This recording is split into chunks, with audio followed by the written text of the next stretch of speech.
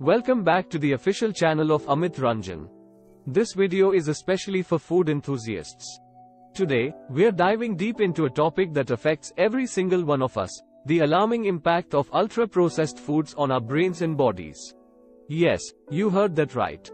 It's not just about satisfying our taste buds, it's about how these foods might be hacking into our very brain circuits. So, let's get started. Before we jump into the brain part, let's understand what we are dealing with. Ultra-processed foods are those industrial concoctions packed with additives, artificial flavors, and ingredients that you can hardly pronounce. Think soda, chips, candies, and those convenient microwavable meals. Now, here's the kicker, ultra-processed foods seem to have a special ability to hack into our brain's reward system. When we munch on that crispy, cheesy snack, our brain's pleasure centers light up like a Christmas tree. This leads to an almost addictive cycle, making us crave these foods more and more. The junk we cannot simply stop eating. Ultra-processed food harms our bodies by hacking our brain. We now frequently consume things that aren't food, but industrially produced, edible substances. We have entered a new age of eating. Processed and ultra-processed foods are novel molecules put through labs and factories, points out ultra-processed people. The science behind food that isn't food by Chris Van Tulleken. If it's wrapped in plastic and has at least one ingredient not found in a normal kitchen, it's probably ultra-processed food, UPF. Crops like corn and soy are decomposed and modified. The cheapest versions of fat, proteins and carbs are extracted and made into new things. You can turn coal into butter, palm oil into ice cream and baby formula.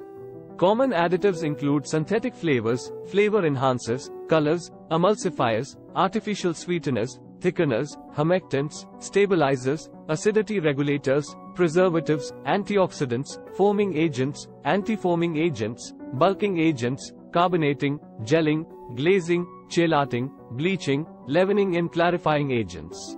Not only is it low cost and seemingly delicious, preservatives give UPF a longer shelf life. This junk food gives you more calories per mouthful, it's low in fiber and high in fat and sugar. It displaces traditional diets. It is micronutrient deficient. UPF is known to cause tooth decay in school-going children. The ease of chewing changes the shape of our faces, giving us smaller jaws. UPF hacks our brains, like a drug. Why does it seem irresistible, and why can't we stop eating it? Not because it's delicious, but because it throws off the body's ability to self-regulate. It overrides the system of neurons and hormones that signal fullness. This is why it isn't always possible to consciously change our behavior, because we're controlled by ancient neuroendocrine feedback systems, which are simply unable to cope with novel food presented in a novel way. The human body is tricked into dismantling its defenses.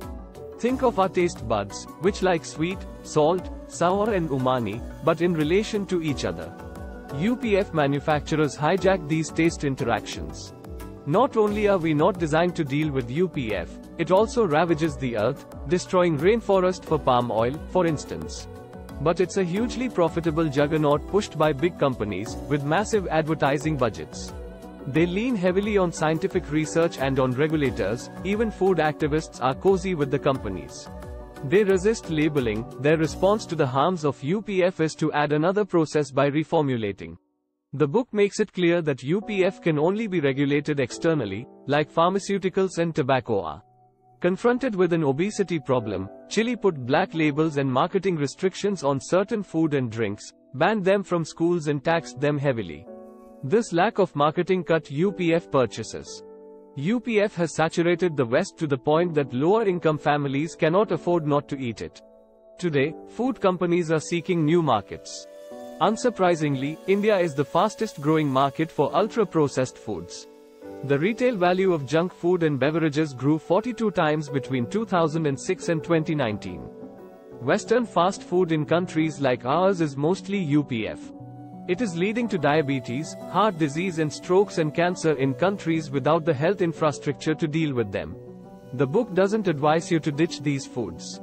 Instead, it suggests eating more of it while reading the book, to experience the full horror of what you're doing to yourself. And see how you feel by the end of it. Conclusion.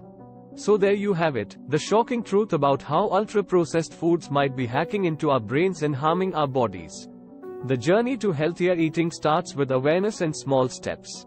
If you found this video eye-opening, don't forget to hit that like button, subscribe, and share it with your friends. Together, let's take control of what we put on our plates and protect our brain's well-being. Until next time, stay healthy and stay curious.